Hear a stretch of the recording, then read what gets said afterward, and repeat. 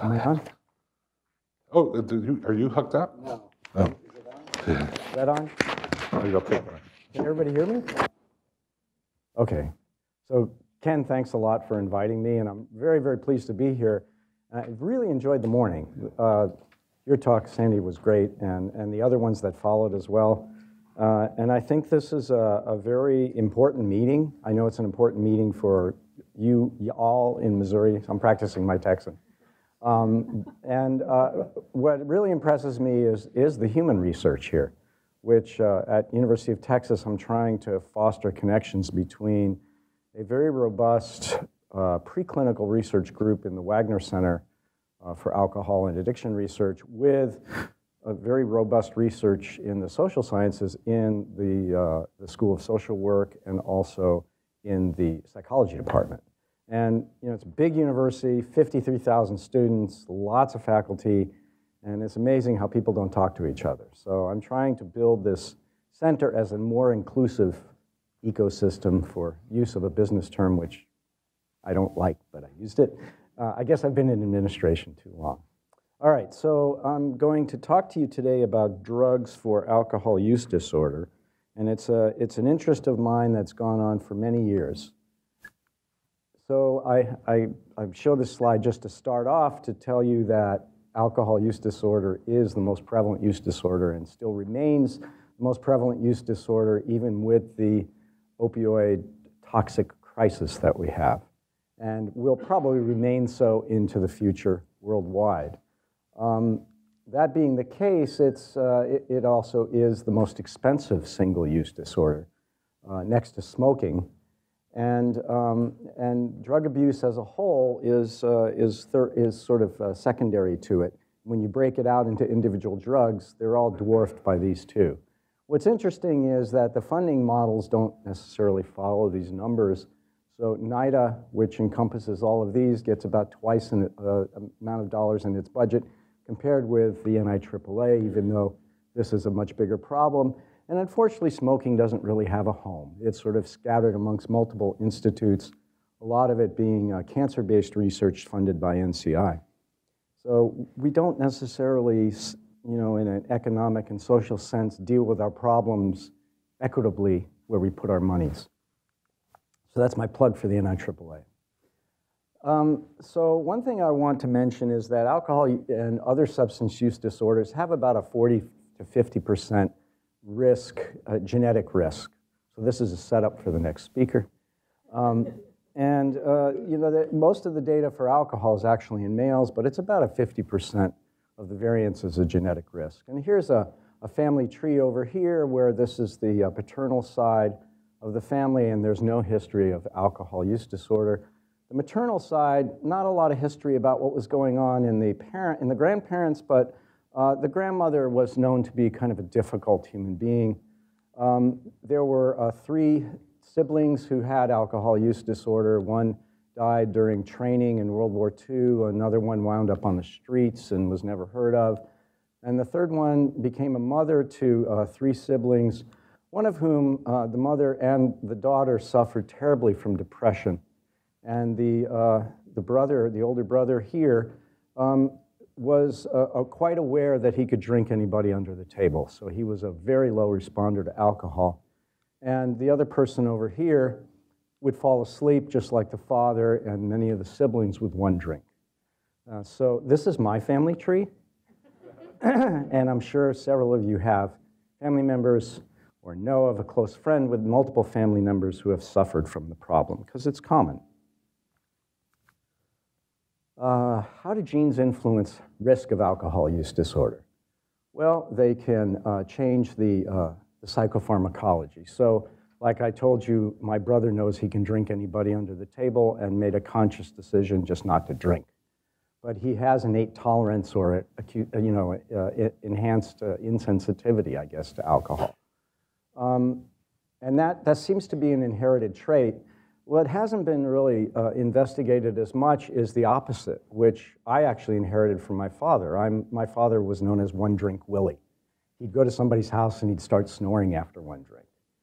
Um, there are personality types, which has been mentioned, you know, risky behavior, sensation seeking, uh, extroverts, uh, you know, the frat boys, that sort of thing. Uh, people who are impulsive and will be uh, subject to peer pressure and dares to, to drink and chug beers, et cetera. There's psychopathology associated with high risk, in particular depression and bipolar disorder as a prime example, but also antisocial uh, personality and externalizing personality disorders. And then finally, there, there's a physiologic uh, uh, genetics that actually, for the most part, prevent people from developing alcohol use disorder. And the most uh, robust genetic variant that does this are in these two enzymes, alcohol dehydrogenase and acetaldehyde dehydrogenase. High activity ADH leads to an increased production of acetaldehyde, as does uh, a nearly inactive or null version of this uh, ALDH2 enzyme. And this compound, when it builds up, causes uh, flushing, uh, fast heart rate, nausea, headache.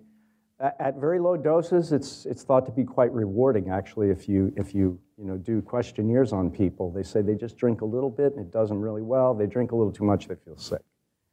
And this is a negative, very, very much a negative risk factor for alcohol use disorder. The other genetics, though, is not. I mean, most of the other gene variants, they have very small effect sizes, and they're kind of hard to track through populations. Um, not only are humans uh, carriers of variants that confer risk or lack of risk, mice and other rodents do as well. And you can look at inbred mouse strains and put them in a two-bottle choice drinking uh, uh, procedure where they can drink either water or an alcohol-containing solution and measure how much they drink one person has already mentioned C57 Black 6J mice, which are lushes. They drink like crazy. And down here, people have used as, a, as an extreme uh, different uh, strain, DBA2 J mice, which don't like to drink at all. And people have done cro crosses of these inbred lines and tried to track genes through the uh, interbred uh, recombinant lines, inbred lines. now, in addition to there being a genetics for risk, uh, there also is the fact that drugs change the brain, and alcohol, like other drugs of abuse, with repeated use, cause the nervous system to actually try to adapt to the presence of the drug. And in those adaptations, which I would call maladaptations, there's some sort of a feed forward mechanism that occurs which promotes further drug use. So this has been um, sort of graphically illustrated in two ways. One is a linear model um, where, uh, and this was talked about already in one of the short talks, where liking and the intoxication phase of the drug with repeated use goes to actually wanting the drug. It's kind of an ab aberrant memory response. You also develop tolerance to the uh, pleasurable effects of the drug, so you have to use more of it to get, to get the pleasure. And then eventually you get dependence, and there's a shift to being uh, unhappy when you don't have the drug. So you actually you go from liking to wanting to needing the drug just to feel normal. And that occurs particularly with alcohol and with opiates. Um, it, has been put in a cycle here by George Koob and others. Uh, called the uh, addiction cycle, where you have a binge intoxication phase that gives way to, as the people become dependent, to a reward deficit and stress surfeit uh, condition known as this uh, negative affect withdrawal phase where you need the drug to even feel normal. And eventually, alcohol damages the brain and you lose executive function, you get deficits of judgment. And these have been mapped to different circuits and different brain regions and some different neuropeptides and neurotransmitters. So, uh, drugs change the brain, and there is, there is some risk and individual differences as to how dramatically they do change the brain. And there also is a variation on which one of these kind of behavioral phenotypes drives the uh, desire to drink amongst different people.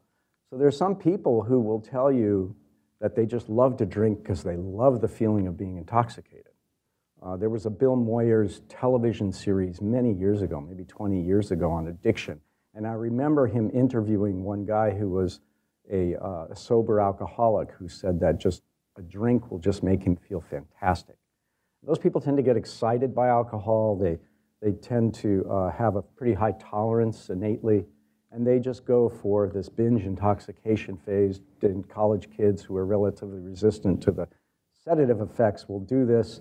They're known as reward drinkers. And at the other extreme, people who uh, don't feel good at all without the drink, those are relief drinkers. Generally, these are younger people, generally, these are older people, and there's a spectrum in between. And it's worthwhile remembering just this behavioral phenotype categorization because I'll get to it with, with personalizing medication therapy. So, the mainstay of therapy, because the drugs aren't great, and I'll get into that in a minute, the mainstay has been behavioral therapy. So, this is very different than opioid addiction, where you know, the drugs actually can replace the, uh, the addiction pretty well, and you can maintain people on very specific opioid agonists or partial agonists. So, for alcohol use disorder, behavioral therapy is the mainstay, and probably the most successful are cognitive behavioral therapy and motivational interviewing. And we have somebody at UT Austin uh, Mary Velasquez, who has been a big proponent of this and has published on this. Um, there is medication assisted therapy for alcohol use disorder, and it truly is assisted therapy here rather than primary.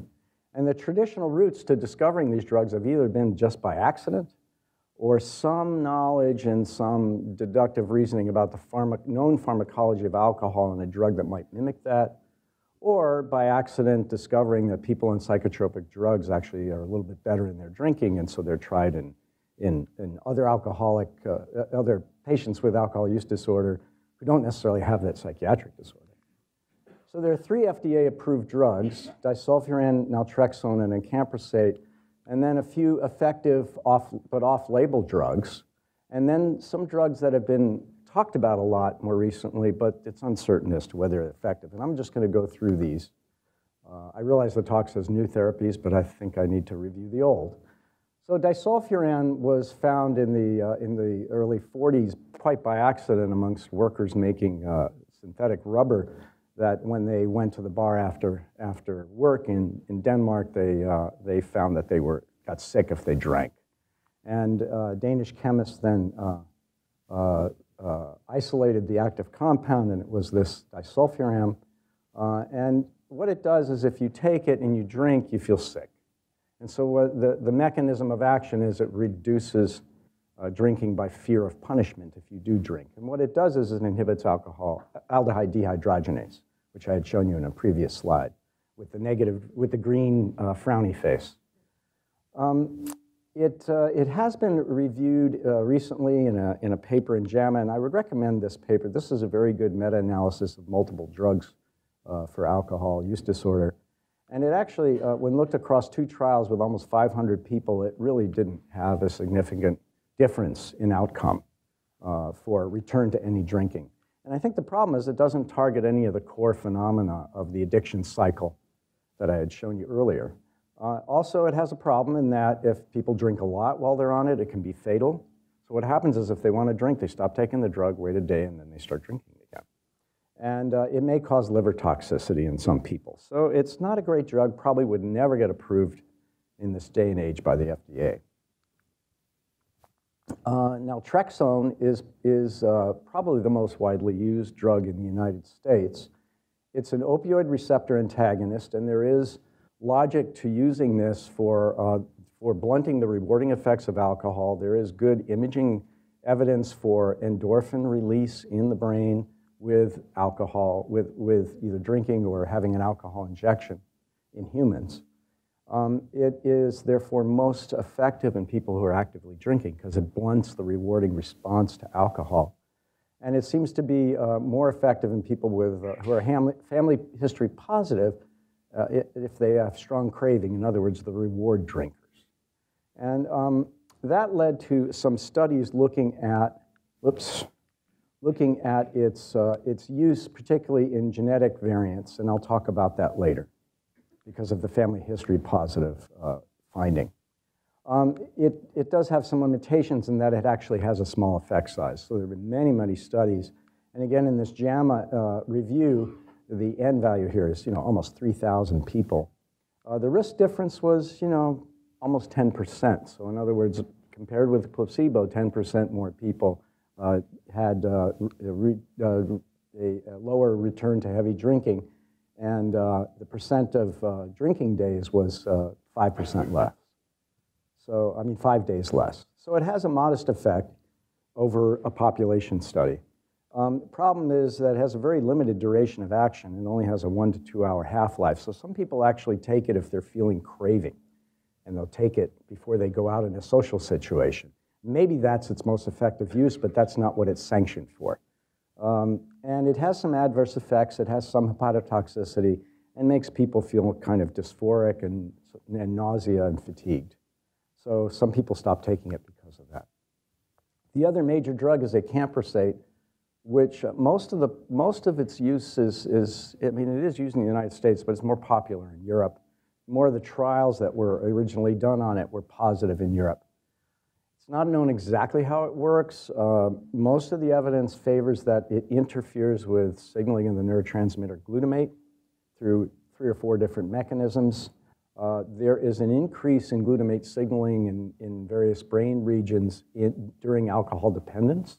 And so it's thought to blunt that. It's been approved to, to sustain abstinence in people who are abstinent already at the initiation of therapy.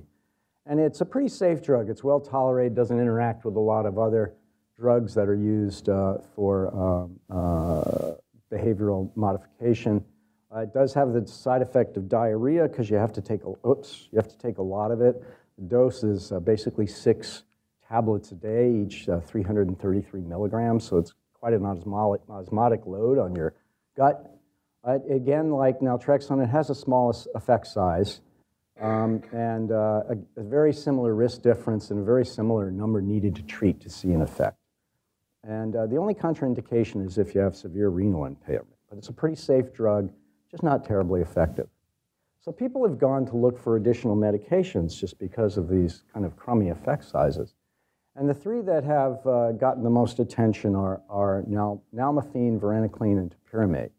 Nalmefene is another opioid antagonist, but it, it has a little bit different mechanism in that it's a partial agonist at one of the opioid receptors, the kappa opioid receptor, which is thought to mediate some of the aversive properties of opiates. And so it may shift the valence of alcohol drinking uh, uh, a little bit towards an aversive state, is the theory of that. Uh, it appears more effective than naltrexone in reducing drinking in rats that are dependent. Um, and, but its, uh, it, its effect size is really no, not much better than naltrexone. In the few studies that have been done, it uh, does have a longer half-life than naltrexone, so if you wind up with side effects, there's a little bit more of a problem in that the drug's not going to go away as fast. The company that makes this uh, makes a tablet for use in Europe, but it, they're not going to go in front of the FDA. They have no plans to make, make it available in the US. It is available in an injectable form for opioid overdose, but not for, uh, not for alcohol use disorder. But you know, you might see people in Europe coming with those tablets. People do take this when they feel craving before they go out in a social situation. Varenicline is a very interesting drug. It's a uh, partial agonist at several nicotinic receptors, and it is the most effective smoking cessation drug on the market right now. Uh, it was thought to maybe be effective for alcohol use disorder because the, there's a very high co-occurrence of both addictions. And, uh, and there are several candidate genes, risk genes, that are touted to be risk genes for both addictions. It reduces ethanol consumption uh, in, in rodents, and so it's been tried in humans in a lot of small clinical trials which showed an, a, a, modest effect. There have been two larger uh, randomized clinical trials. One uh, sanctioned by the NIAAA had 200 smokers and non-smokers, so it was both groups, with AUD, and it reduced the percentage of heavy drinking days with a, with a fairly decent effect size. Um, and then there's a more recent randomized trial run out of Yale. Stephanie O'Malley was the lead author, and it only reduced uh, the percentage of heavy drinking days in men, not in women, but there were only 39 women in that study. So I would not venture to say it's ineffective in women, but, uh, but it seems to be effective, maybe more effective in men. There are more studies ongoing. It does have some side effects in some people, but they're generally mild. And I think this is a promising drug uh, for, for uh, trying on patients, particularly if they're smokers. Uh, the, last, uh, the last one that's been touted a lot, um, particularly by the group at uh, Pencil, University of Pennsylvania, is topiramate, or Topamax. And it's an anticonvulsant that has uh, several mechanisms of action, but two of them are is it enhances GABA A receptor function and it inhibits glutamate receptor function. And that's very reminiscent of what alcohol acutely does as well. So it's, if you will, it's kind of an alcohol mimetic. It's like replacement therapy for alcohol use disorder. And it has a moderately decent effect size in several studies. Uh, again, this is the JAMA um, meta-analysis. Uh, and it, the problem with it is it has some limiting side effects. It causes paresthesia, taste abnormalities. Uh, it's a great weight loss drug. Uh, it makes you somewhat anorexic. So if you have obese patients who have alcohol use disorder, they might like this. But people get dizzy and they get tired. You know, it's like an anticonvulsant. It makes you a little bit dopey. But this is a promising drug, and there are variants on this that are being tested now clinically. Uh, and you may see more in this, in this realm. There are two drugs that have become popular, but it's not clear that they work. So one is baclofen, and there was a, a famous book by a French cardiologist that where he had terrible alcohol use disorder. He started taking this drug uh, initially for alcohol withdrawal seizures and claimed it cured his alcoholism and um, and really went on a, on a, a very popular uh, uh, crusade, if you will, to try and get this approved as a drug for alcohol use disorder, and actually wound up being approved in France. But if you look at the clinical experience and all the clinical trials that have been done on it, uh, overall, you know, the Cochrane database had, just had a recent review of this. There is no difference in, from placebo in any of the measures. And actually, there was an evidence for increased number of drinks per drinking day. So I'm not so sure that this is a great drug. I've given this as a neurologist to patients for spasticity, which is what it's approved for in the US, and it almost invariably causes somnolence and vertigo. So people don't like it too much unless they really have to take it. Um, the other drug is uh, gabapentin, and uh, you know, I'm not exactly sure why this was even tried because there initially wasn't really any animal model data to push for this. Um, but uh, it it does re reduce neurotransmitter release by inhibition of certain types of calcium channels. That's thought to be how, how it acts. It's a drug that was initially developed as an anticonvulsant, as a GABA mimetic, but it doesn't act at GABA receptors, and then it was found to maybe inhibit pain transmission, so it's used for neuropathic pain.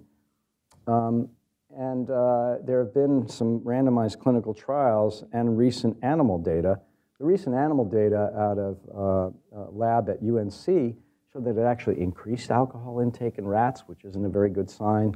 There was one study from Barbara Mason's group at Scripps in, in California that uh, used, uh, that looked at non-treatment seeking alcohol-dependent persons, and uh, it found that uh, compared with placebo, it improved abstinence and also sleep. But a recent randomized clinical trial that was much longer and used an extended release form um, with a larger number of patients uh, run by the NIAAA, of which Barbara Mason was one of the investigators, didn't show any effect. So I don't know if it's the formulation, the patient population differences, or whatever, but it, I think the, the you know, I, I'm not so sure that this is going to be that effective. And again, this also makes people sleepy. So, um, I would say that I would give the green light to naltrexone and acamprosate. I'd give a, probably a, potentially a bigger green light to varenicline and topiramate, and somewhat to nalmefene, but you can't get it in this country. I would be reluctant to give patients disulfiram. You'd have to monitor them very carefully. They'd have to be very motivated. And I leave gabapentin and baclofen in the gray zone. So there clearly is a need for new drugs. And uh, you know, serendipity is not the greatest way to go about things. Can one go about things logically? So traditionally in the drug development uh, world, people have identified drug targets, and they've gone after these drug targets uh, by understanding some of the biology and biochemistry of a disease state. And then they've developed very selective drugs against the target and then tried them in, in animal models and then go to humans.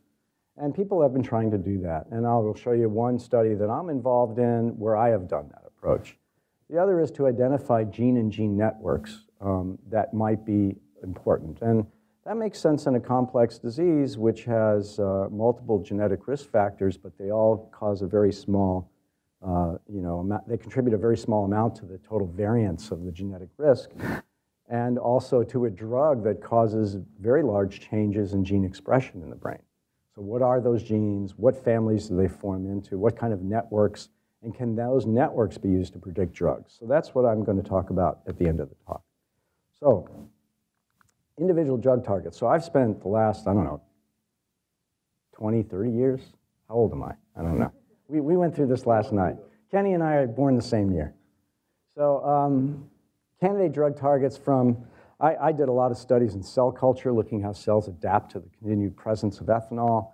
There was a group at the Gallo Center that studied flies, another group that studied uh, C. elegans uh, nematodes. Uh, people were doing RNA sequencing uh, to look at different genes that were expressed, and some of it was done in humans. And I would, you know, mine all these data and come up with potential drug targets and knock them out in, in mice, look at the knockout mice for behavioral changes, and then try to map circuits and cell signaling. And so my lab, you know, went through a good 12, maybe a couple more on this list of genes that we knocked down in animals and studied. And the one that really, there were two that kind of hit gold. Uh, one is the alpha-4 subunit of the nicotinic receptor, which I'm not going to talk to you about today, but this is a target for varenicline. And the other one is protein kinase C epsilon. So protein kinase C epsilon is a kinase, which is an enzyme that puts phosphorylation uh, moieties on proteins that are its substrates. It's a very charged part of the molecule. It changes the structure and can change the function of the substrate. So it's a signaling uh, kinase, and it's a member of a large family. There's a subfamily of related uh, genes. There, there are nine of them. They form three groups. The, this group uh, has a lot of structural similarities and is activated by both calcium and a lipid that comes out of lipid signaling called diacylglycerol. This group, the novel PKCs, uh, are only activated by the lipid, and this other group, which is related structurally but has different means of activation, the atypical PKCs are, are quite different. We've studied representatives from each of these three classes and found uh, that the epsilon PKC gene really had a ma major effect on alcohol-related behaviors. Um, we found that uh, these animals avoid alcohol. I mean, they, they really have conditioned place aversion to alcohol. They drink very little of it, and they have less so of a response, but a similar response to nicotine. Uh, they also have reduced anxiety-like behavior, and they show reduced hyperalgesia to either inflammatory or neuropathic pain insults. And so these are three very clinically useful phenotypes, and so we decided to go after this. I'm just showing you here the early, so here's a study from 1999. That's, this is one of the first uh, issues of Nature Neuroscience that had just come out. And uh, Clyde Hodge was in the Gallo Center at the time as an assistant professor. He did the behavioral work. You can see in red here, these knockout mice do not like to drink alcohol. This is a two bottle choice test where you raise the concentration of alcohol in the water every four days. And the wild type mice drink quite nicely, up to, you know, by the end here, up to six grams per kilogram per day. But the knockout mice, very little, and they don't get past much, much past about 11% preference for alcohol versus water. So this was probably at the time the most dramatic uh, alcohol aversion phenotype anybody had seen in a knockout mouse. So because of all the potential clinical utility of this drug target, we went after it to try and make compounds against it. So this is a compound that's sold by uh, Sigma, uh, and it was developed against a different kinase called ROC1, and a company in Belgium had actually modified it by adding this, these structures over here and changing this ring to a benzene ring and tested it and said it was fairly selective against PKC epsilon. But they never did anything with it. It was an agri agricultural uh, pharmaceutical company, and they were getting into the medical business, but then they canceled that. So it's in the patent database, but they haven't done anything in humans. So what we did is we, we looked at this, and this is Mike Pleiss, who's a medicinal chemist, and Dan Wang, who is a, a very talented scientist in my lab at UCSF, and we modified the structure, replacing this ring here with a hexane ring. So it's basically the same compound. But this allowed us to get patent uh, protection around it, and we made a whole slew of compounds. These are two, this is a variant of this. And we tested it, and we found when we did, looked at representatives of the three families of PKCs that really only the novel PKCs were very sensitive to inhibition. And then when we looked within the novel PKC family, we found that epsilon PKC in black here was the most sensitive enzyme. So it's a, it's a relatively selective inhibitor of PKC epsilon. We've also scanned the entire kinome against this with a commercial uh, uh, source that will do this kind of screening. And this uh, only appears to hit 11 kinases out of 400 in the kinome. So It's a fairly selective compound. Um, we've tested this in mice. These are C57 black 6 mice, which you can get to drink a heck of a lot of alcohol. And this is 16 to 18 grams per kilogram per day if you give it to them every other day. So they're kind of binge drinking. And you can get blood alcohol levels four hours after you hang the bottles that are up in the you know, legal intoxication range. So we don't let our mice drive after this. Um, and then if we give them uh, the compounds, uh, they actually drop their drinking by about 50% at a 40 milligram per kilogram dose. It only occurs in the wild type mice. If we use the mice that lack the gene for PKC epsilon, we don't see an effect. So it's selective against the drug target. So we're now taking these compounds, and I'm working with a chemist at UT San Antonio who's modifying them. These, unfortunately, still inhibit the original kinase ROCK1 that I had mentioned that the, the initial uh, you know, Y compound was against. You inhibit ROCK1, you can cause hypotension. This will never become a drug. Um, and we think we can change the structure and eliminate the ROCK1 inhibition. So that's what we're working on. That's a, a grants funded by the Harrington Discovery Institute and also by uh, the DoD. And our hope is to make not only an alcohol a drug against alcohol use disorder, but also a chronic pain drug. That's not a non opioid chronic pain drug. But that's a very difficult task.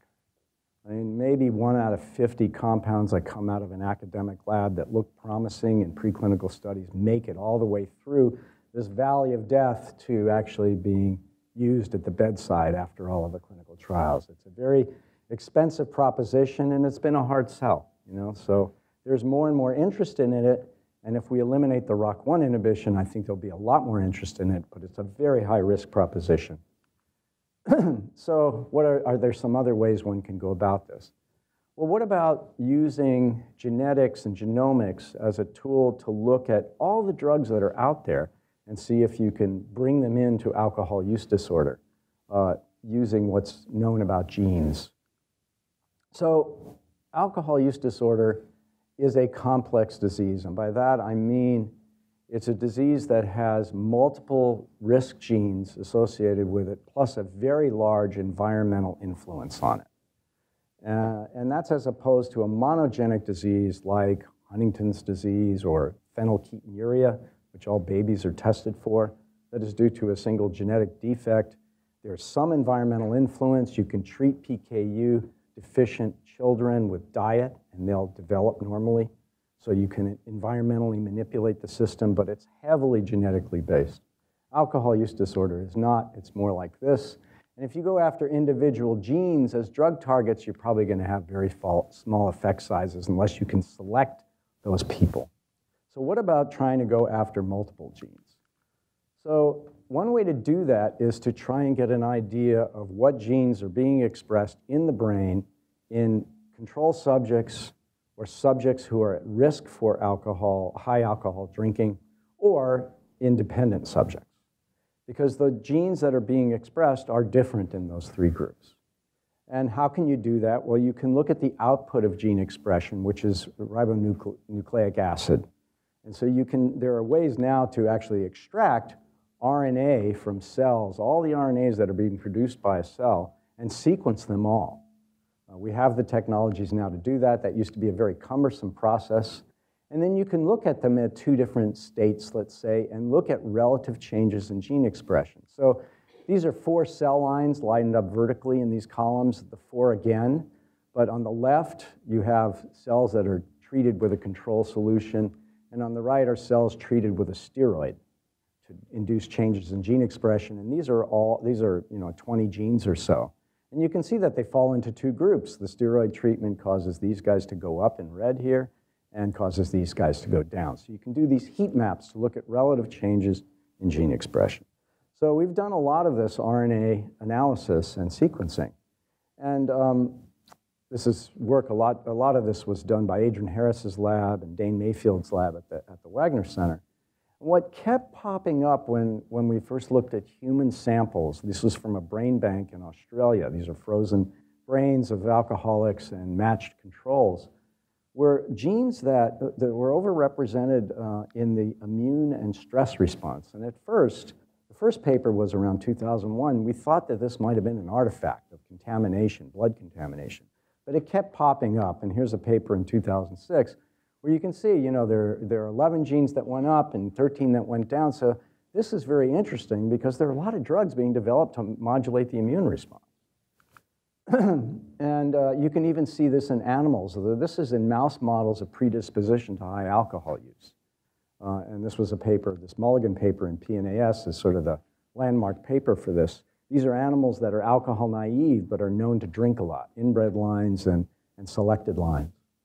And so if you look at all these immune response uh, and stress response genes, that makes you think, well, gee, what, couldn't we just take a, off the shelf a bunch of molecules that are already known to manipulate these pathways and try them out? So that's what Yuri Blednov at the Waggoner Center has done, and some of this is already published. But the interesting, most interesting ones he found is if he manipulates NF-kappa B signaling or phosphodiesterase 4 or uh, the peroxidone, the PPAR uh, uh, agonists, so this is a transcription factor, all of these are anti-inflammatory drugs and they decrease drinking in two bottle choice models. Um, we've, we've chased some of these, and some of these drugs have side effects that make them never to be used in alcoholics, like they cause liver toxicity or they've been pulled off the market for other reasons. This one, though, is very interesting. This is apremilast, which was recently approved to treat psoriasis. It's a, and it has uh, less side effects than other PDE4 inhibitors, which tend to cause nausea. This one's a little more selective uh, to the subtypes of PDE4 that are not involved in causing nausea. And so it's better tolerated. And uh, it does decrease drinking in mice pretty substantially. We've just published those papers uh, recently.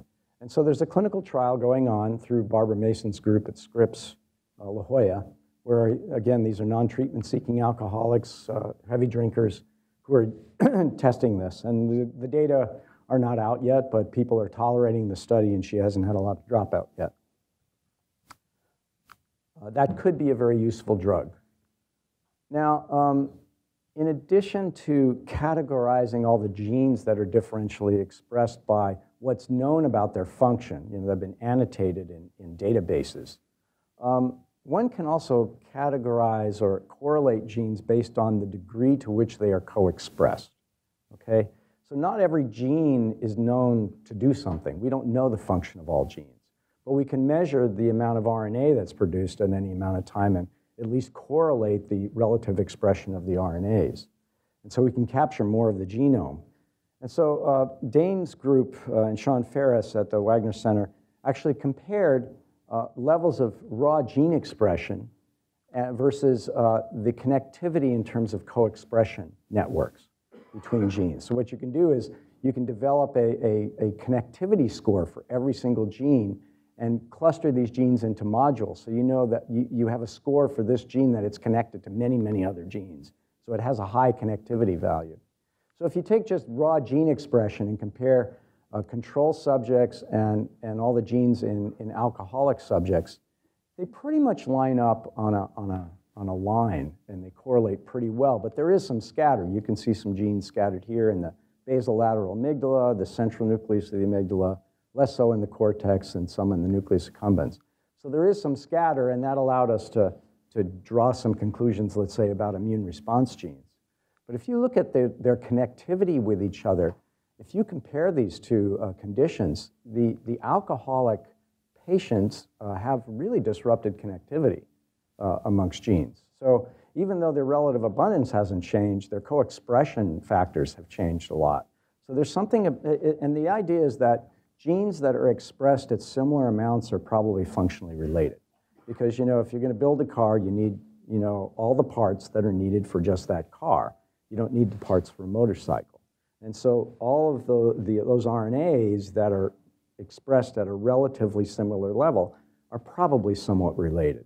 And actually, if you look at within these modules and you go back and look at the functional annotations that are in databases, you actually see that that's true. So that, that the connectivity does, does somewhat overlap with what's known about function. But this is a, a, a more unbiased approach, and it's terribly disrupted in alcohol dependence.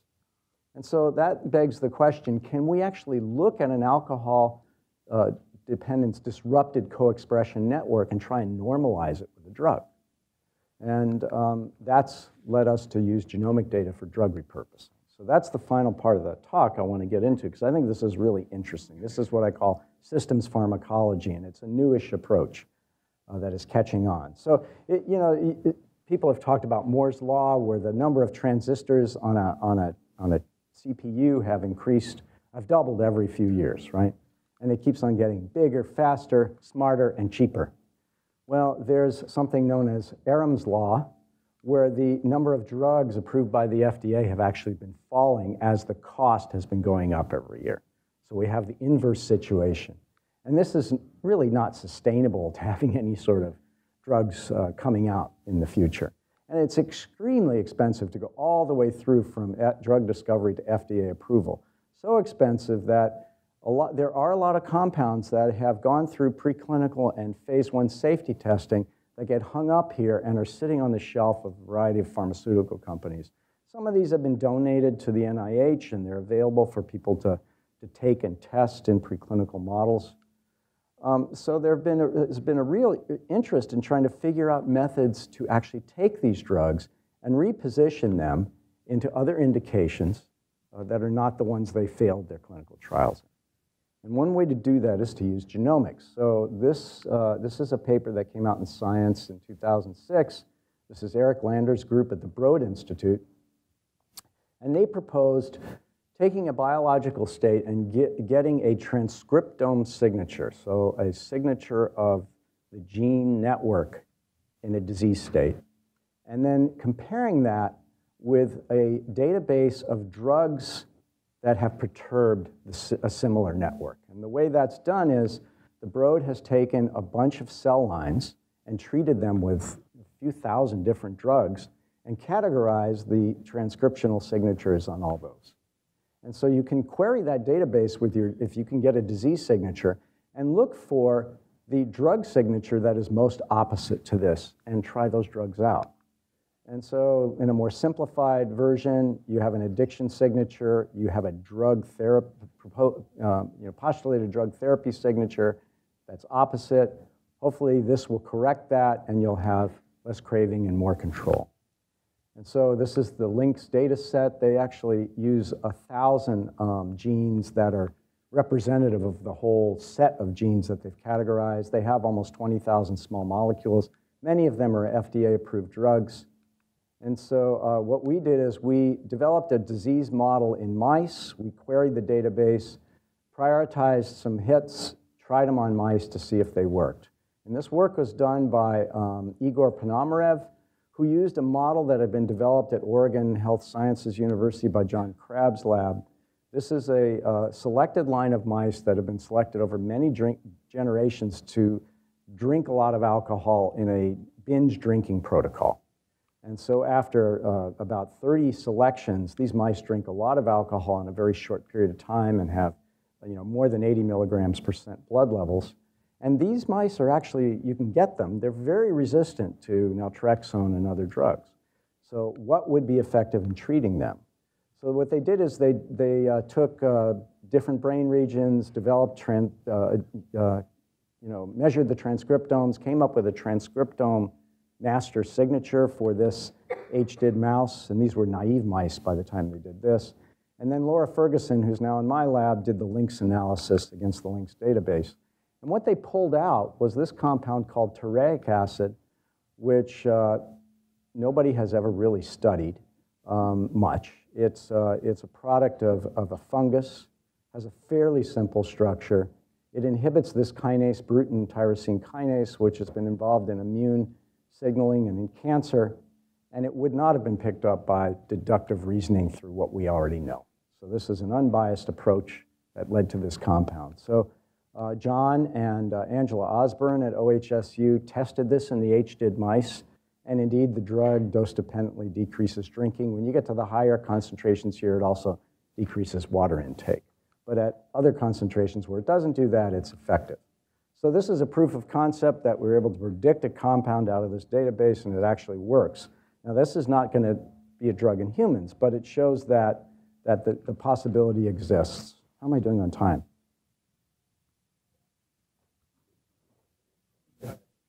How much? 10, I'm good, okay. I wasn't sure, because I, I didn't know how long you talked, right?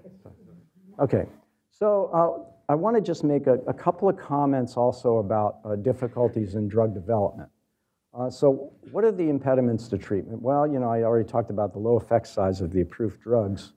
Uh, Maybe the off-label drugs are a little bit stronger, but we need more data. Um, A big problem are, uh, that, that uh, clinical trialists talk about are the narrow uh, endpoints in, in randomized clinical trials as required by the FDA. And I'll talk about that. Also, AUD is a heterogeneous diagnosis, and, and Kenny really mentioned that, that the, uh, the, the DSM-5 criteria, are, you know, you can have people who fit two or three of different criteria and they still have the same diagnosis. Uh, very, uh, only a minority of people are treated. That's in part because people think it's a small effect size, in part because primary care providers that see many of these people don't know that much about the drugs. Uh, it's definitely because there's a social stigma. People don't even want to talk about it or they don't want to deal with it.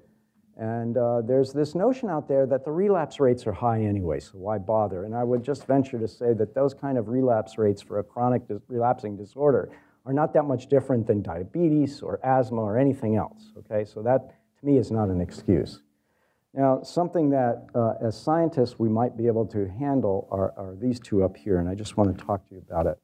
Uh, first is uh, the FDA endpoints of abstinence or no heavy drinking days. They're very limiting and they're very dichotomous variables in a, in a sense. They don't give you any kind of graded uh, uh, uh, gradation. There's no, there's no room for the gray in here. And I'm, uh, like most of us scientists, we love the gray. Everything's a probability, a likelihood. So they're, in Europe, uh, they've adopted this uh, World Health Organization reduction in drink risk level. So uh, the WHO has defined four levels of, of drinking risk based on how much is drunk, both in men and in women. And the idea is if you go one or two levels of drink risk uh, in response to a drug, that's considered a positive event. And so people have gone back and looked at topiramate, varenicline, and naltrexone, and it looks like uh, going one risk level down is kind of noisy, but going two risk levels down, from very high to medium or high to low, uh, is actually quite robust. And you get a little bit more, you can capture more people as being positively affected. The numbers needed to treat to have a response are less, and you don't get that much increase in the placebo effect. So I think that th- there's a group uh, of clinical trial experts in the country who are trying to get the FDA to adopt this. This would become kind of an international uh, benchmark. The other thing is uh, personalizing treatment. So there's been a lot of talk about using genetics to do that, but the problem is the effect size of any single gene is small, and it's not, to me, much of a surprise to think that it's kind of failed for alcohol use disorder. The biggest uh, push was for this variant of the mu opioid receptor gene, and there were some initial papers that said it looked very promising, at least for predicting response to naltrexone, the opioid antagonist. But uh, more recent studies and larger numbers of people, that hasn't panned out. Um, and there was a prope- prospective study, which I think is this one, that actually didn't see any signal. Um, there's been neuroimaging done in one study. So this is the PREDICT trial. It was a big treatment trial of naltrexone and acamprosate done in Europe and in four sites. And in one site, they also did um, uh, pre and post-treatment uh, uh, functional MRI imaging. And they showed that there was that high cue-induced activation in the ventral striatum, just the area of the nucleus accumbens, uh, predicted uh, a better response to naltrexone. So that's sort of promising. So maybe there's a way to use imaging to stratify people. The, um, the, it, but you know, it's this expensive, and primary care people can't necessarily do this. So what about behavioral phenotypes? And I talked about reward drinkers and relief drinkers. People have gone back and analyzed the PREDICT trial, the European trial, and the combined trial that was done in the US many years ago, and found that in this trial, that naltrexone uh, had a better response in reward drinkers. This was a huge effect, an 83% reduction in heavy drinking. And in the combined trial, it appears that relief drinkers on acamprosate had reduced drinking days. So there may be a way to behaviorally phenotype people and stratify them. And so, in summary, there's a need for better medications. It's a complex disorder. It probably would benefit from a systems pharmacology approach uh, with genomics. Drug repurposing may be the most cost-effective uh, uh, method or approach for now. Um, There's a move to expand uh, outcome measures in clinical trials, which I think is a positive thing. Um, It's important to remember it's a complex disorder with gene and environment interactions. And right now, with the, uh, the small and to modest effect size of the current therapies, it really has to be used, drug treatment has to be used as an adjunct to behavioral therapy and, uh, and also recovery interventions, which I think recovery interventions um, that have a, a, a- a social component to it, getting people involved in other groups, really help with this environmental interaction. And so these are just some people that I've had in my lab over the years who have participated in some of this work. And then I've, I, I'd like to thank funding from the Gallo Center, the state of California, UT Austin Startup Funds, the DoD, the Harrington Institute, the NIAAA, and also uh, my colleagues in the Waggoner Center and the Neuroscience Graduate Program. And of course, rodents. All right, thanks.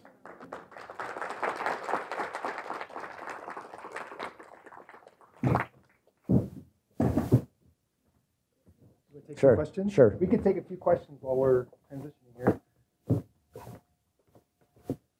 Yes.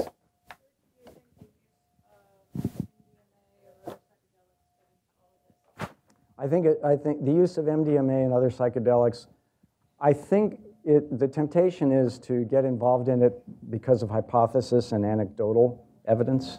Uh, I think it would need a real trial. Uh, you know, things have fallen out in trials. Um, but I think there's enough of a, of a interesting signal to think it might work. Uh, one of the biggest ones that's you know, historically is ibogaine, where people have gone to the Caribbean to use it. Uh, it's a little bit toxic. There's some uh, basic science evidence to, to say why it, how, it might work. Um, it's worth a try. I, don't, I, I think it's a hard sell to get, to get that passed, though. You know, I wouldn't, as a, uh, you know, you can't prescribe most of them anyway. So I'm not sure I would, I would recommend people doing that, but it's worth studying. Hi, I'm wondering how you uh, differentiate chemically or genetically the relief drinkers and the reward drinkers? How you identify them? Um, That, that's a phenotype. That's a behavioral phenotype. It's not distinguished um, uh, genetically, or what did you say, chemically?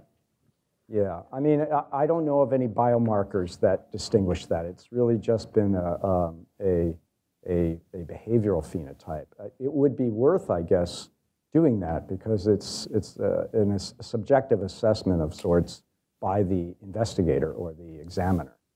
But I don't know of the data. There might be, I just don't know it. As per my understanding, diclofenac by FDA. Yes. And so, what was your, I mean, of course, the drug is not ideal, but you said something along the line that FDA not approved that drug. Yeah, I don't think it would pass safety measures or efficacy. They're very, you know, it's, it's by the criteria that the FDA required, you know, in a clinical trial, I don't think it would pass. It, you know, it was, it was approved long ago, you know. But that drugs are very raw. There are some safety bars in disulfiram phase, but uh, we teach disulfiram as one of the treatment with disulfiram, etoposide, and then drugs on these three in the class. Sure, I do as well. Oh, well, that's a good question. I don't know what the status is on that. Do you know, Kenny? Well, it, why is it, why is disulfiram still being used if it's not really uh, you know shown in a in clinical trials to be effective? Uh, It's not my area of expertise, but I could tell you how I've seen it used. People believe it's very effective when it's part of some kind of behavioral contract. And so it's family together, that the, the wife will stay with the husband if he agrees to pop a pill in front of her, you know, kind of a commitment to abstinence. And but in those kinds of cases, is it the drug that's being affected? Right, or is it Or the is it the the behavioral contract. contracting and the contingencies surrounding taking the drug? But at least the, in the situations I've seen it being used, you know, and people feel it's effective, it's not when it's somebody taking on its own. It's part of a contract with a family member, with an employer, that sort of thing. Right, right, so, yeah. Wait, One more question. I would speak to that issue about when disulfiram is used. I think largely it's used by habit, that there's just not enough training with primary care doctors or psychiatrists about what else there is to use. Um, and so one of the things that I appreciated about your talk was at the beginning you said, well, these things aren't that effective, but then you talked about how complicated it is depending on what your goal is, what your endpoint is.